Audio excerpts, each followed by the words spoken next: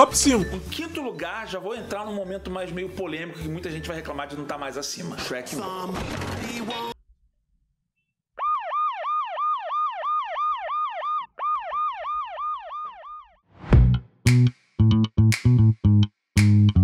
Top 10 filmes da DreamWorks por gaveta. Bom, Olá pessoas, tudo bem com vocês? Depois de eu falar volta e meia de várias produções da DreamWorks aqui, tá na hora de eu fazer um top, né? Claro que não. Vocês estavam vendo esse programa vindo de longe, de longe. Mas ao contrário do que muitos acabam levando quando eu faço um top 10 aqui. Como Treinar Seu Dragão é top lembrar 5, hein? que é um top Eu tô logo 10 avisando, baseado senão vai dar merda. Claro que não. Não existem verdades absolutas e nem que eu ache uma produção é melhor tecnicamente do que outra. Às vezes eu me falando, conecto mais com algumas do que com outras. É muito gosto pessoal. Vou ficar isso. Mas vamos puto, ver se eu vou entrar na já polêmica ou não, criando o top 10 depois da vinheta.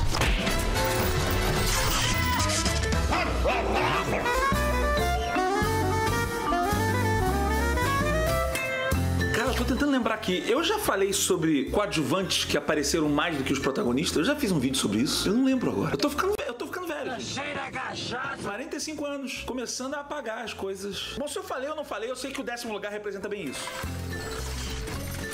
Eu tô falando de coadjuvantes que brilharam tanto ou mais do que os protagonistas, os pinguins de Madagascar. Quais as nossas coordenadas? Pelos meus cálculos, chegamos ao Ei, Levi! de Dublin, na Irlanda.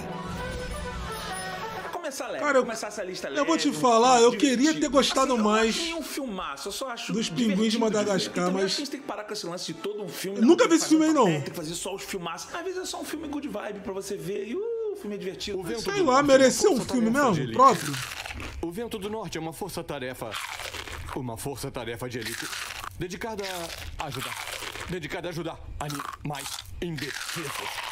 Eu acho que o, o filme dos pinguins de Madagascar é meio Tá. isso, um filme legal Tá. de ver. Eu tava com medo deles serem personagens muito secundários Me pegou e você um não pouco. ter um enredo principal pra você seguir, sabe? É que nem o personagem escada, ele precisa de alguém pra levantar a piada, ele só aparecer ali de vez em quando. E eu falei, cara, será que um filme só disso vai se Mereceu, sustentar? mas nunca vi. Eu acho que sustenta. Só deles eu também que nunca tem vi. uma parte dramática ali que também tem um outro grupo que fica no embate contra eles ali. Eu acho que acaba ficando legal. Apenas sorriam e acenem, rapazes.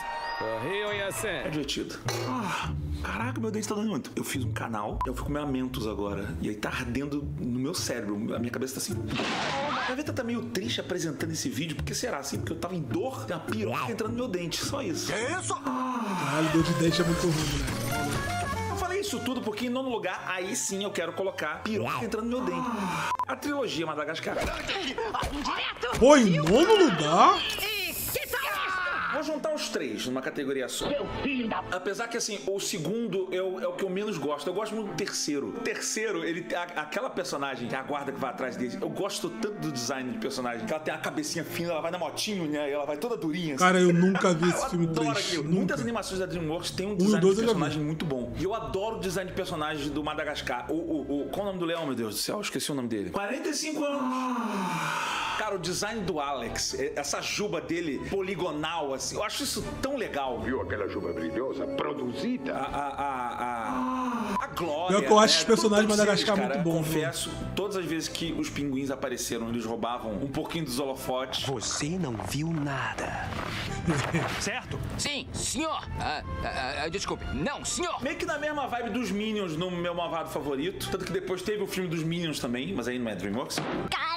E pra mim é esse lance. Eu gostei muito do primeiro, o segundo, não sei, não gostei tanto. Pra vir o terceiro, eu achei que voltou a ficar muito bom. E misturou com aquela galera do circo e tal. Eu achei engraçado. Vocês devem ser muito famosos. É, nós. Com certeza. eh, somos. o conhecidos, Alex né? é o nosso astro. Não, eu não diria astro. Eu diria. Eu diria. Tá bom, astro. Em oitavo lugar, pra mim, vem um filme, uma animação que é muito curiosa, assim, é muito, muito única, que é o Megamente.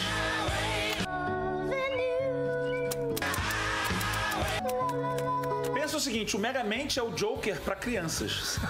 É bom, é o Megamente é bom. tá falando do vilão, mas aí dá tudo certo no final, e tal. O Megamente ele é o zero? síndrome que deu certo. Ele odeia o herói, ele tá com raiva lá do herói, mas ao mesmo tempo é uma relação meio de necessidade. Só que nesse caso ali, o Megamente realmente deu certo. O primeiro filme, que saiu um segundo filme agora, e Deus me livre. Nunca nem vou ver esse O primeiro é dois. legal, ele, ele inclusive antecipa uma onda primeiro que tá é bom. agora, que é o que a gente vê com The Boys e tal, que é mostrar o lado ruim dos super-heróis. E se os super-heróis não tivessem uma boa índole, tivessem um forte desvio de caráter, com todo esse poder que eles têm nas mãos? Vou te salvar algumas vezes antes de rolar um romance. Opa! E é os caras demoraram, né, é a fazer esse quando você pique começa a mostrar isso, de cara, heróis que meio merdas. bom, Aquele lance assim, você descobre quem é a pessoa quando você dá o poder na mão dela, sabe? Por isso que eu acho esse filme bem fascinante, sabe? Além dele brincar muito com os estereótipos Isso me faz lembrar o Hancock. herói, né? Tem que falar a frase, tem que fazer não sei Que a o gente tem que assistir ainda. Estou aqui, mãos ao alto. Herói sempre tem que estar disposto a enfrentar e fazer aquele roteiro todo. Só que nesse caso, o Megamente no final acaba virando do bem mesmo. né? Ele acaba vendo que ele tem lado bom. No início do filme ele já planta essa semente que ele pode ser, na verdade, um cara bom que foi desviado, né? É um pouco diferente do síndrome que a ganância dele fez ele surtar. Se bem que o Megamente foi mais bem sucedido como vilão, terminou mais bem sucedido também. E não pode nem falar que ele tinha superpoderes, porque ele não tinha. Assim como o síndrome, ele é um que não tinha superpoderes, acho que só a mente, né? E ele inventa as coisas todas dele, né? Assim como o síndrome. Só que ele tem uma coisa que o síndrome não tem. A entrada triunfal! Muito pique. Por isso que eu acho que o Megamente usaria a tecnologia da Insider, não síndrome. Ah. Porque Tech T-shirt é um negócio, né, super tecnológico, maravilhoso, mas tem um estilo. Na verdade, eu falaria pra você que sabe que chegou o inverno agora tá batendo aquele frio, a Insider talvez seja pra Que você. também, isso? porque, Da eu onde que veio esse vezes que o velho? tecido da Insider ele faz a regulação térmica, né, do seu corpo. É um tecido meio que parece que estica, mas ao mesmo tempo é tecido. Esse daqui, no caso, é até reforçado, que esse aqui é uma heavy core. Já que a gente tá falando aqui de inverno, eu vou mostrar pra vocês as heavies. Heavy pullover masculino. Você tá precisando de uma manga comprida? Pô, mas eu vou te falar. Vou fazer um AD aqui de graça agora. Pô, eu tenho uma. Qual é essa daqui? Tô ficando cego, estou velho, não enxergo. Tá aqui, ó. Heavy Slim masculino, ó. Cores diferentes, tem várias Não, eu não cores lá pulo no AD. você Quem pode me acompanha Mas, sabe cara, que eu não pulo AD. foi melhor do que isso daqui. Heavy Megamente no Cara, top 8 a maravilhosa essa 190 é legal. maravilhosa No mínimo merecia você um top tem aquele 5. casacão É, vamos ver o que vem é pela frente. Acho que eu também colocaria mais pra cima, né, que é esse tecido que ele é um. Insider é não comum? Ah, eu acho que ela, hoje em que dia, ela tá muito cara. né? Se tem uma roupa que não Tipo assim, dor, com porque esse ela é, que tá ligado? Tem várias que fazem- um. Mas é boa, Cara, né? que É coisa boa, boa. maravilhosa. Eu tô apaixonado nisso aqui. Mas eu pedi o tamanho eu pedi o tamanho menor. Casaco é bom quando é grandão, né? O bom é isso da Insider, entendeu? Eu vou pedir pra eles Mas o trocarem. preço tamanho, não faz um- sentido. Um tamanho maior. Tem vários tamanhos lá no site. Eu quero que fique aquele casaco. Olha isso, gigante, 500 sabe, assim? conto, Aí, mano. rapidinho, Casaco sem marca Boa nenhuma. noite, uma jogadas. pessoa elegante, Cheguei pra live mulher, pra tem esse várias conteúdo que peças sugeri no diferentes grupo. lá no site. Só usar Nice. o meu cupom GAVETA, agora é só GAVETA, que você tem 12% de desconto no site inteiro. Só botar lá no 180 carrinho, camisa, olha lá isso. no final da compra. E sabe qual é o melhor? Você vai investir numa coisa que vai durar. Durar muito. No carrinho, usar o Três camisas, 500 reais. Três camisas. Camisas lisas. cupom lá no final da compra. E sabe qual é o melhor? Você vai investir numa coisa que vai durar. Durar muito. Camiseta da Insider não desbota. Só que é muito boa Fica e fica. Ela é boa, vai. Então, assim, é um é investimento bom, uma dica boa que eu tô te dando. Vai aproveitar agora. Tem link aqui no QR Code, tem link na descrição desse vídeo. Vai lá. Insider. Em sétimo lugar da minha lista de melhores animações da DreamWorks, já começa a aparecer o primeiro representante aqui, Kung Fu Panda 3. Eu sou o dragão guerreiro. Entendeu? Está vendo o dragão gigante? Panda é bom. Ah, Ele adora que Kung o Fu Panda, né? Esse é o mais fraco dos três. Não, não teve um quarto filme. Só tiveram três filmes. Não- eu não lembro de um quarto filme. Vocês viram? Eu, eu não vi. O terceiro, ele é o mais fraco. Vou botar assim, ele é o menos melhor. Porque ainda acho ele muito bom. Eu adoro o tema do Kai. Um negócio meio Hans Zimmer, Hans Zimmer. Hans Zimmer fez a trilha de todos os filmes. Gosto muito desse filme porque ele dá um senso de conclusão, ele fecha muito bem a história do Paul. Ele tem um Pô, domínio Fu Panda é muito bom. Acho que eu também colocaria mais contas. acima. E ele assume mais o papel que seria do Hugo. Os dois lados de Yin e Yang.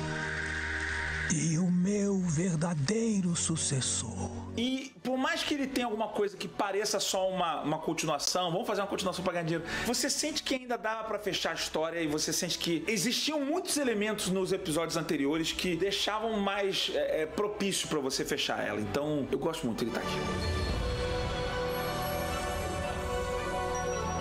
Pô, Kung Fu Panda é bom pra caralho. Em sexto lugar, a animação mais bonita da DreamWorks até o momento. Eu eu já tinha falado aqui no canal em outras oportunidades que eu Gato falei, de cara, Botas é esse bom pra estilo de animação é fantástico, maravilhoso. Eu fiz um vídeo só sobre isso. Falei do Gato de Botas, falei do Aranha Verso. E de como eu queria que o Kung Fu Panda tivesse esse estilo, porque acho que combina muito mais. Tá, mas Filmaço. é bom salientar uma coisa. Esse filme, ele não tá College daqui a por pouco. causa disso. E também esse estilo de animação não garante ele uma posição super alta no top. Esse estilo de animação que parece um desenho à mão Caralho, muito bonito. vida, tal. Inclusive, um desenho, um desenho à mão que ganhou vida, eu fico muito tentado a assistir o anime. Não o anime Flá, o anime. Esse aí mais novo aí, velho, que geral gosta. Acho que tá na Netflix, pá. Alguém vai falar o nome dele, quer ver? Vai ser o primeiro nome que eu vou falar. Demon Slayer. Demon Slayer. Dizem que é bonitão mesmo, né? Tipo assim, o, o jeito que ele foi feito, né? Porque, tipo assim, eu já falei, cara, o que me irrita no anime, não no anime Flá, o que me irrita em todos os animes é, primeiro, a lentidão pra contar as paradas, e segundo, o traço que na maioria dos melhores, né, são muito antigos, então, tipo, me cansa a vista, eu não gosto muito de ver. Tá ligado? Tipo, eu falo pra Gabriela isso direto. Tipo, eu gosto, eu tô gostando de ver o Naruto com ela, mas, mano, às vezes uma paradinha demora, tipo, três capítulos pra acontecer, três, quatro, mano. Caralho, eu acho que eu parei lá atrás, mano, no Super Campeões, mano. Quando um chute pro gol demorava três capítulos, tá ligado? Puta que pariu. Eu fico pra morrer com essa porra. No 3D, que é uma mistura de 2D com 3D. Inclusive, o próximo filme da DreamWorks vai vir com esse estilo visual, que é o Robô Selvagem. Lindo trailer, lindo, lindo, lindo. Não significa que esse filme vai ser bom por isso, mas é um estilo lindo de se ver. Eu, se eu pudesse usar, eu pedi o like desse vídeo nesse estilo, se eu pudesse, sabe? Aquele 2D com 3D. Eu, você, Cara, cara, Gaveta é genial, bizarro. Mas eu não sei fazer, a galera de, de VFX aqui precisaria de um ano pra fazer realmente, por isso que né, a gente tá pedindo só O like é padrão mesmo. Mas você podia deixar o like aqui, que ainda assim é muito difícil fazer. maluco um é gênio. desse tamanho, um top 10 desse. Então você vai ajudar. Tá maluco, ele é, ele é gênio. Porque pra Esquece. gente é muito bom. Aí, se você se inscrever Titan me incomoda legal, por quê? Se quiser se tornar membro e ter acesso causa disso também? coisas também, mas começa com like. Mesmo você seja membro, deixa o likezinho, que é bom. Tá, voltando. Aproveita e deixa o like no meu vídeo aí, cara. recurso visual maravilhoso, mas ele não garante uma boa história, certo? Na própria DreamWorks tem os caras Aí, Dan, boa noite. que é lindo também, lindo, mas ele não Esse entra no vi. top 10, por exemplo, entendeu? Eu acho ele lindo, ele, ele é mais bonito que grande parte que tá aqui. Mas o Gato de Botas 2 não, esse daí ele é bom, porque ele deu uma ênfase um pouco diferente no Gato de Botas, mostrou ele com medo, tem ataque do pânico, esse tipo de coisa. E o vilão, dublado pelo nosso querido Wagner Moura, Corre, corre, gatito. é um dos grandes vilões da DreamWorks. Aliás, Voltou. esse daqui Voltou. é um ponto que eu não falei até agora. que A soberba voltou. Um dos pontos fortes da DreamWorks é a criação de bons vilões. Se você notar os tópicos que eu acabei de falar, Coisa o que, que ruim. eu falei? Eu falei do Megamente, falei do vilão do Megamente, falei do Kung Fu Panda 3, falei do Kai, né, que é o vilão, que é o mais fraco dos três vilões e ainda assim é legal. O Lobo, o Coyote, sei lá, aqui do, do Gato de Botas 2 também é incrível. E essa é uma animação linda que ela só não tá mais acima porque a gente só vai entrar agora nos clássicos. Okay, okay, one more number. Top 5. Em quinto lugar, já vou entrar num momento mais meio polêmico que muita gente vai reclamar de não estar mais acima. Shrek 1.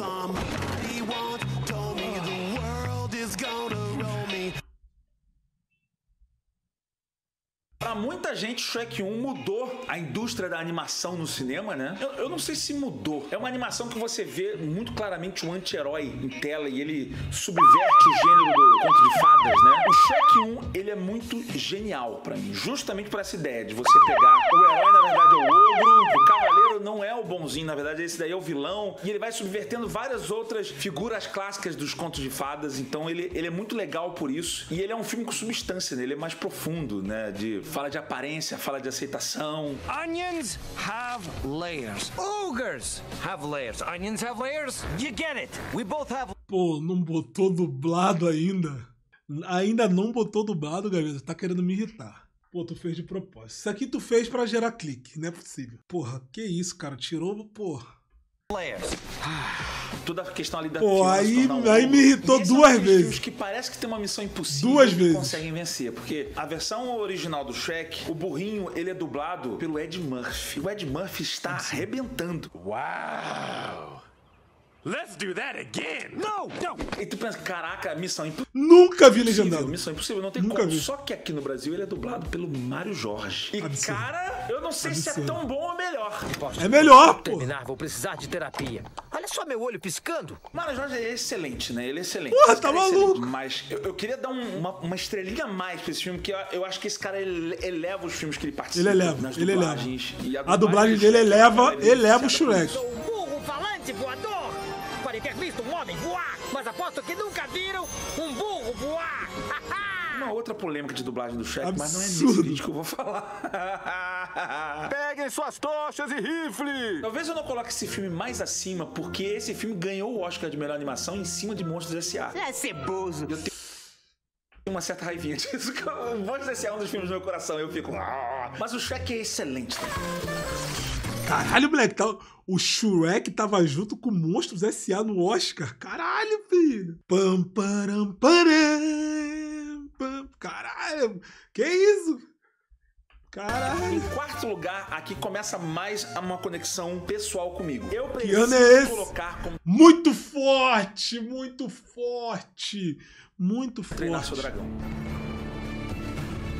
Essa é uma animação que é- é uma daquelas que eu tive aquela sensação assim, o pessoal viu, pô, muito legal. E eu fiquei assim, eu achei mais do que legal. Eu gostei muito. Eu É gostei mais do que muito, legal. Eu gostei muito. Tá bom, tá bom. Eu achei tudo incrível, eu achei a história muito legal, eu achei muito bonito. E ela tem uma curiosidade muito legal, assim, que eu, quando eu vi, especialmente o, o dragão o protagonista, né, o Banguela, achei ele tão fofinho, mas ele tão familiar. Eu falei, engraçado esse.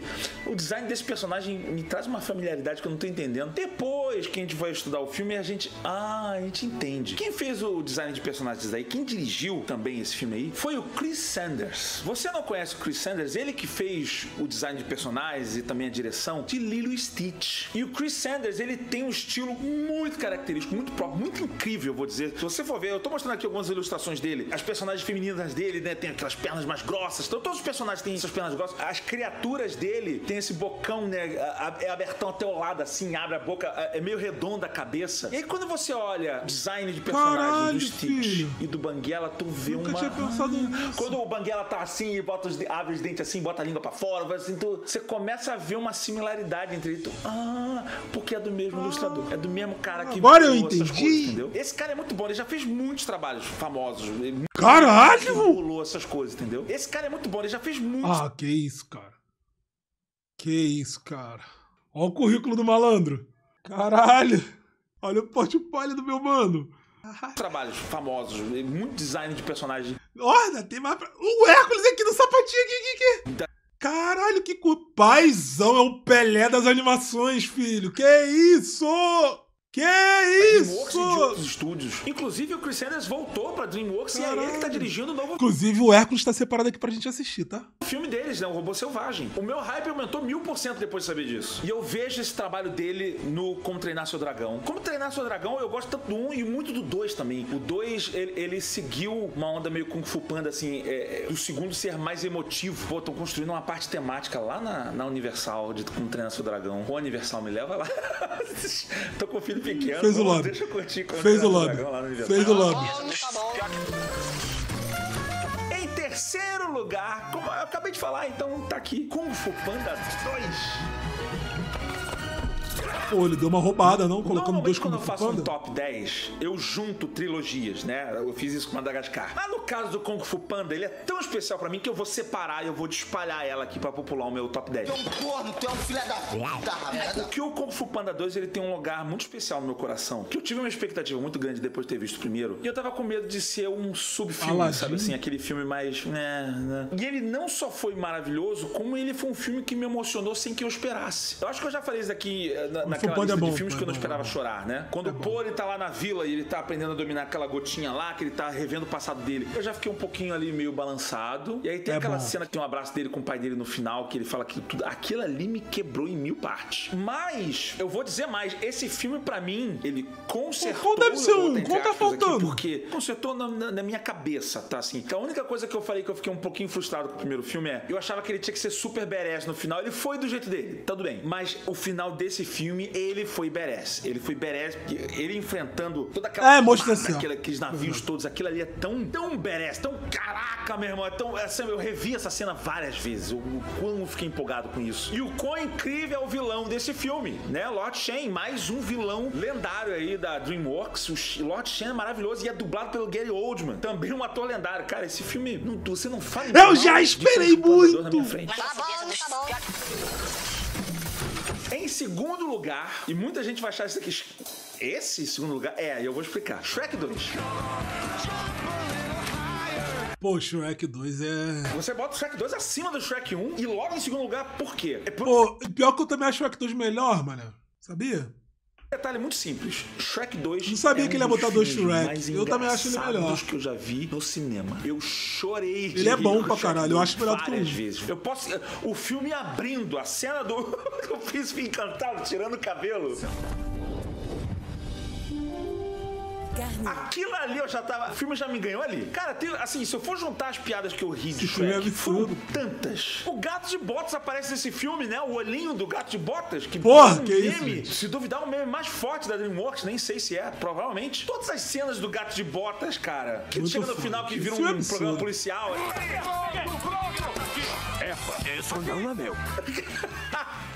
São muitas dois piadas, é melhor são que um muitas mesmo? coisas. Eu adoro a história. O final, todas as cenas com o Pinóquio também são muito engraçadas. Eu- Eu tenho um carinho especial nele por isso, assim, pelas horas de diversão, de Esse filme é risadas que ele me deu. Eu acho que Esse, o pra mim, eu acho que é meu mais 01 da DreamWorks, pai. é o Shrek 2. Se eu fizer um top 10, e eu não sei se eu já fiz, porque eu tô ficando velho e tô esquecendo, mas se tiver um top 10 filmes mais engraçados da minha vida, Shrek 2 tá nele. Fiona! Fiona! Mãe! Harold. Eu acho que é meu 01 da DreamWorks, hein? Lugar, Cara, meu Deus. a cena A Gente Já Chegou é melhor do que muitos filmes inteiros. Deus, quem será que eu coloquei em primeiro lugar na minha lista? Quem será? Desculpa, gente, tem que ser. Não. Formiguinha Woody Allen, não. Thomas Shelby, Formiguinha. Ele olhou torto pra mim. Não é uma boa ideia olhar pra Tommy Shelby dessa forma. Fala logo. Kung Fu Panda.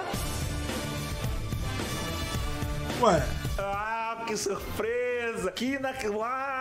Parabéns aí pros detetives. Se você não viu, eu fiz um vídeo inteiro sobre Kung Fu Panda, falando todo o meu amor. E por que que eu fiz isso? Por que que ele está em primeiro? Por um simples e objetivo motivo de identificação. Me perguntaram recentemente assim, Mas qual é- filme é, que eu você acho que colocaria viu o Shrek Você 2 sentiu que você teria editado igual, você teria feito igual. Kung Fu Panda. O primeiro Kung Fu Panda, assim, foi uma sensação muito louca. Era como se o meu eu do futuro tivesse feito essa direção e eu levei a animação pro passado pra eu mesmo ver. O que, que eu achava, assim? Eu achei as escolhas, músicas,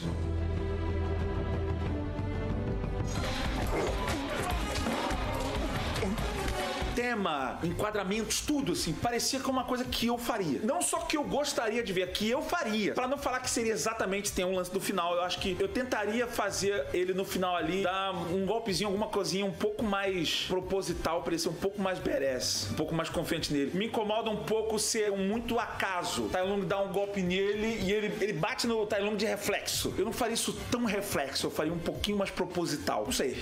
É, um, algum, algum fatorzinho, alguma coisinha. Mas isso assim, isso sou eu querendo ser Faltou cri-cri algum? num nível chato pra caralho. Porque esse filme é o meu top 1 da DreamWorks. É o filme que eu mais gosto da DreamWorks, uma das melhores animações que eu já vi na minha vida. Sou apaixonado ao ponto de eu ter medo de alguém mexer. Não, não melhor não mexer não. Mexe não, deixa assim. Se mexer estraga, sabe assim? Esse é o meu Tô olhando aqui. pro Kung Fu Panda. Que tiveram três maravilhosos filmes. Mas se você quiser saber de um tal de quarto filme, aqui ó. Ah, uh, é tão, mas não é tão ruim assim não. Vai ver o meu vídeo. Aí depois você vê eu falando sobre Kung Fu Panda mesmo. Que aí você vai entender o outro lado. Eu nunca vi o eu graças a Deus. Que aqui eu só vou te graças a Deus.